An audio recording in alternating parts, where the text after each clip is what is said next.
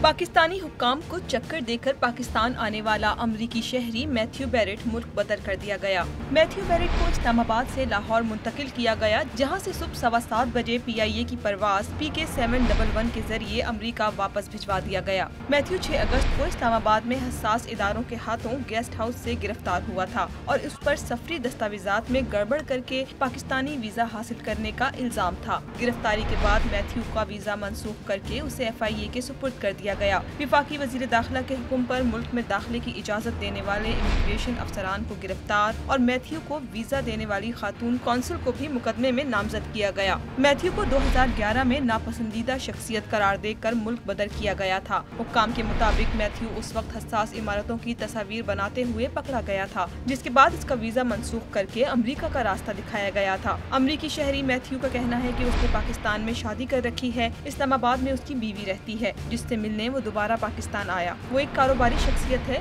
اس کا ان سرگرمیوں سے کوئی تعلق نہیں ہے۔